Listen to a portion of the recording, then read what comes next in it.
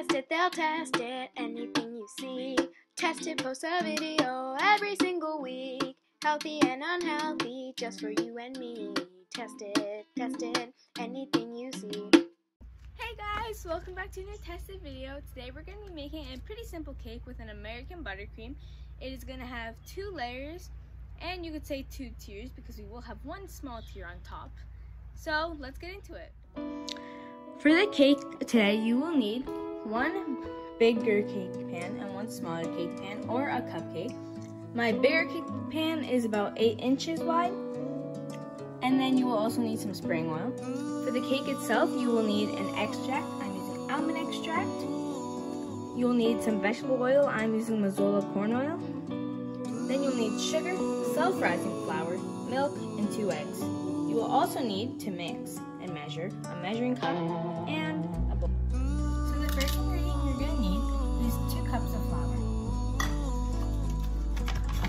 don't have self-rising flour, you can just add about two teaspoons of baking soda to your mixture and it should work out fine.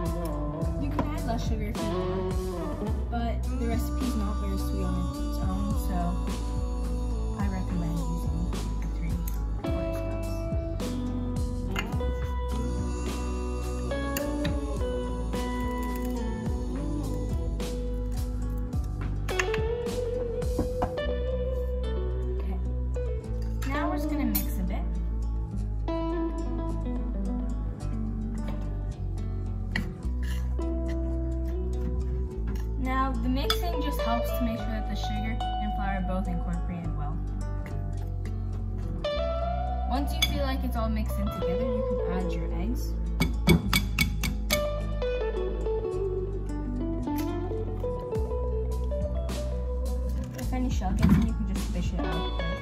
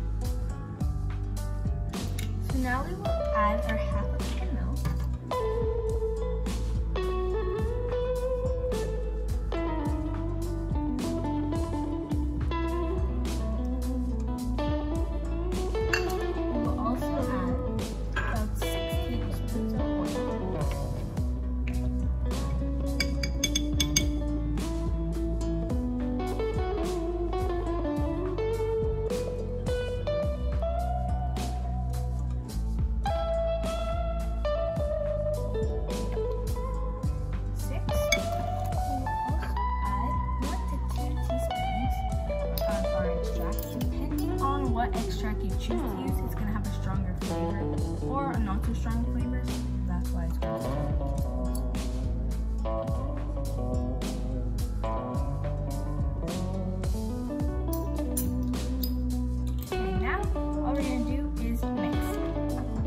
The batter should look something like this when it is all done being mixed. Now we are going to spray our cake pan and pour the batter in. First batch of batter in our cake pan, we are going to preheat the oven to 400 degrees. And the cake will bake, bake for 12 to 15 minutes or until you can put a toothpick or a fork in there and no batter comes out. Okay guys, I'm gonna give you a quick pro tip. Never ever for any dessert, whether it's cake, cookies, brownies, don't put them in the oven before the oven goes bing, telling you that it has reached the temperature you said to. If you put it in before, they will not bake or set as well. So be sure that you wait till the oven is at 400 degrees. Alright guys, so while my other cake is baking, because the oven is now I'm going to be making the next batch of batter for the second layer of cake, and hopefully we'll have enough left over to put in the mini top tier. This will all be on a time lapse, so enjoy!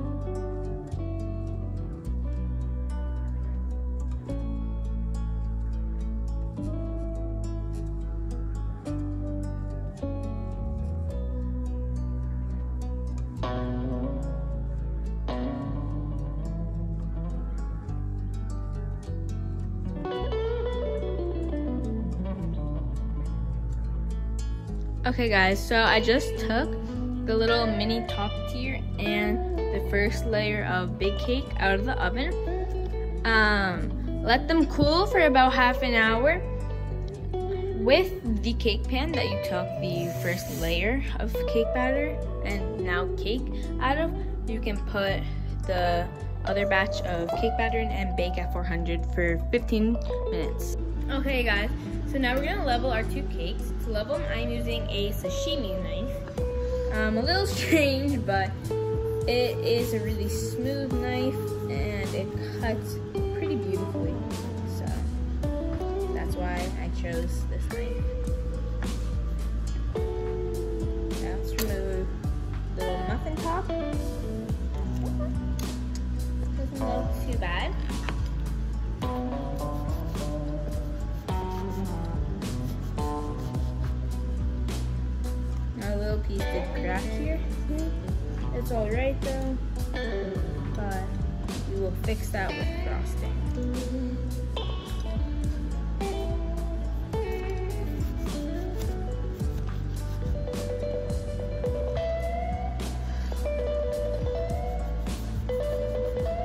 Apologies for the background noise, the hood is on above my stove because the other cake layer is baking.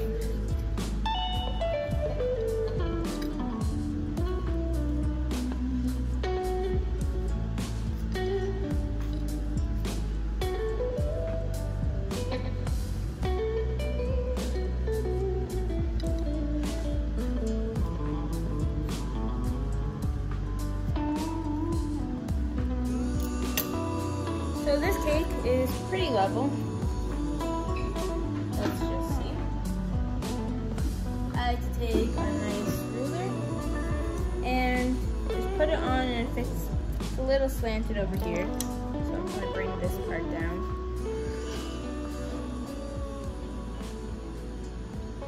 Okay, so I'm just gonna take the little crack part off so I can level it easier, but we will reattach it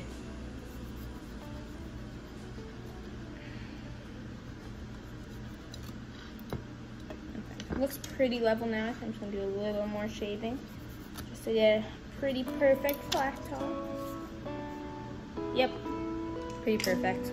Okay, we will now put the little cake piece back on and move on to our mini one. So here we have the mini cake and the muffin top. If you're curious why it's in a pie crust pan, it is because the pan I was baking this in was leaking a bit, so the, all the oil had to go somewhere level this bad boy. A little more difficult because I'm inside a cake pan, but that's okay. This one should be fairly easy to level, just because it's really small. There will be crumbs everywhere, by the way. You can see by my countertop. Um, so don't feel like your cake is bad if that happens. This one looks pretty level. Let's check with the ruler. Yep, pretty perfect. Okay guys, now we just have to wait until my other cake layer bakes. I will level that and then we'll move on to the frosting.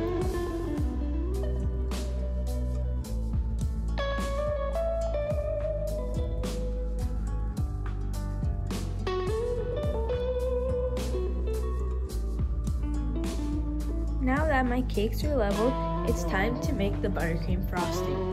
For the frosting, you'll need a measuring cup, your mixer, 1 stick of butter, some food coloring, 1 tablespoon of water, 2 tablespoons of milk, and 2 cups of powdered sugar. So first we're going to add our room temperature butter to the mixer.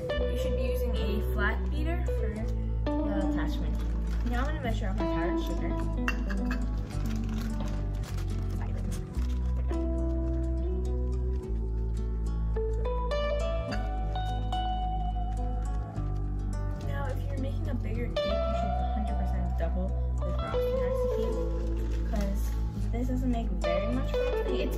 probably good enough to cross the cake that I'm using, maybe two inches thick. But if you're making a bigger cake,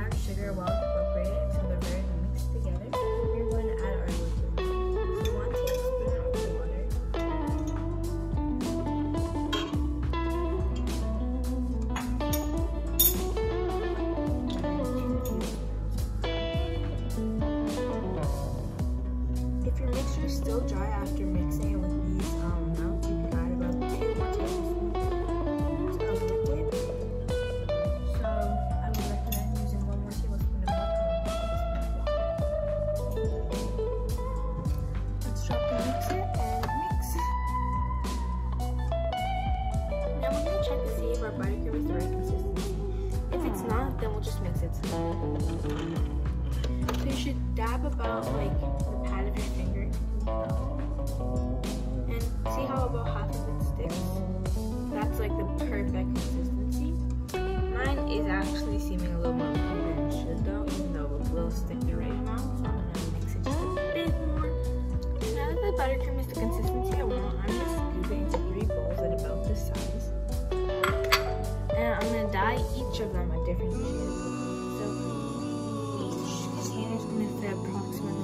tablespoons, big tablespoons of the buttercream frosting. So like I said, make a bigger cake we want, thicker frosting.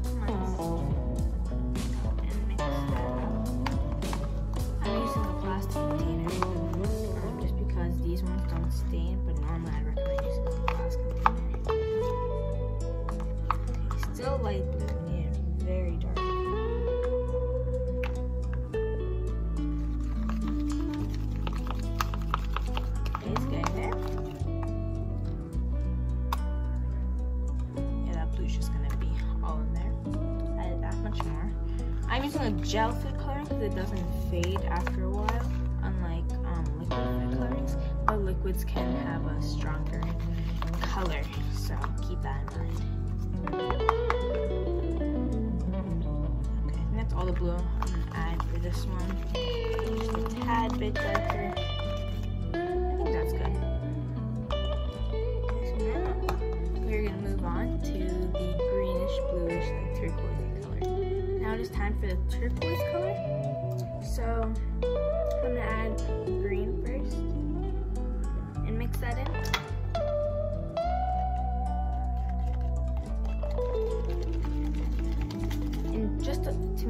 truly agree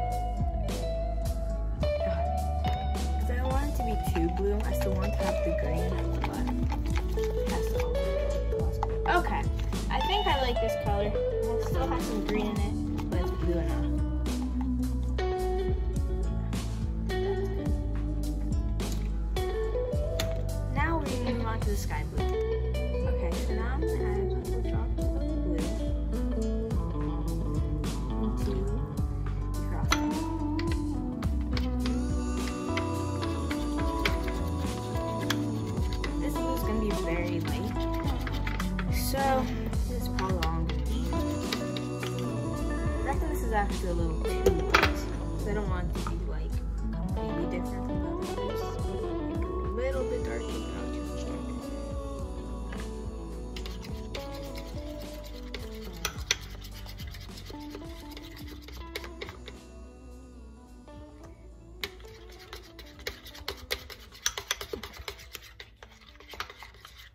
I reckon this is. I think it goes with the other two colors pretty well. So now it's time to put them in piping bags and frost. Okay guys, before I start frosting, I just want to let you know that you should 100% put a crumb coat on your cake. Or if you don't have enough frosting for that, because maybe you don't have enough powdered sugar so you can't make extra frosting, put a crumb coat on. Seal any cracks that are on the cake with the frosting you have, or else your cake is going to crumble and you're not going to get a smooth look at the end. So I just did that. Once you fill those cracks or put a crumb coat on, put it in the fridge for 15 to 30 minutes, depending on if you did a crumb coat or just some cracks here and there. So once mine are done chilling in the fridge, I'm going to frost them all nice and smudge them up and make them look great. Okay guys, so remember when you're stacking your cakes that you need to add supports. So I'm using skewers and they don't work as well as like straws that are thick such as Dunkin' Donuts, Starbucks, and Boba Tea straws. Boba Tea tea straws are actually the best. A lot of professionals use them, but I don't got any. So skewers work. You're gonna need more skewers and they don't hold quite as well, so just be aware of that. Don't try to make too tall of a cake if you have those straws. But I just want to remind you guys to add supports I have my support skewers and now I'm gonna start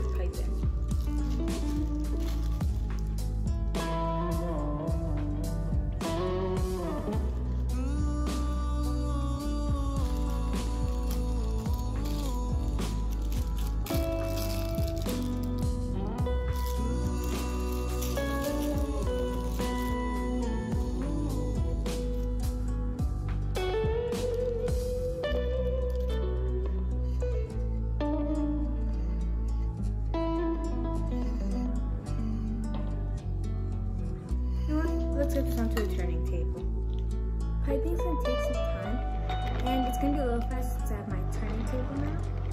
But it's still gonna take a while regardless. So enjoy the time lapse of me piping onto this cake.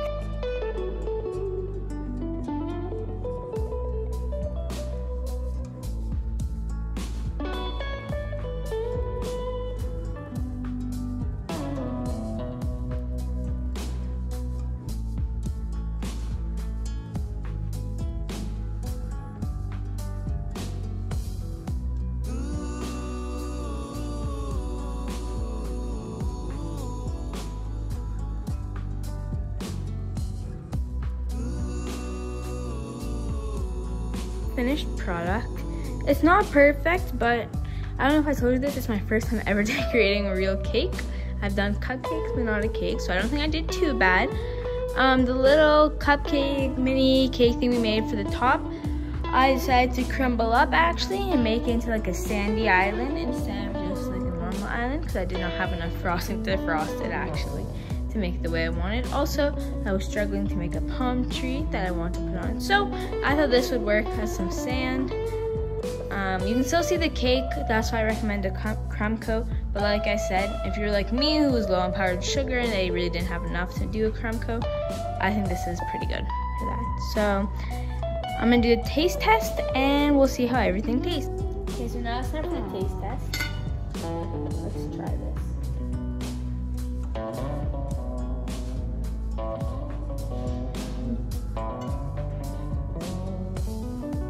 still good. I'm gonna try the frosting.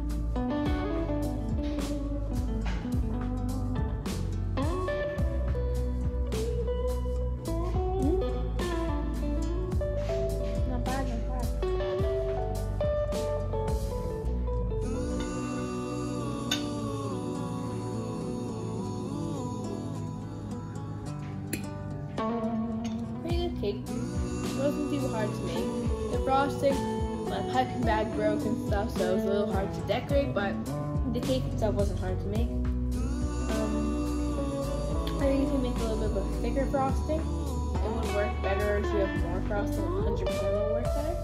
But this came out great all in all, and I definitely recommend trying it. Bye!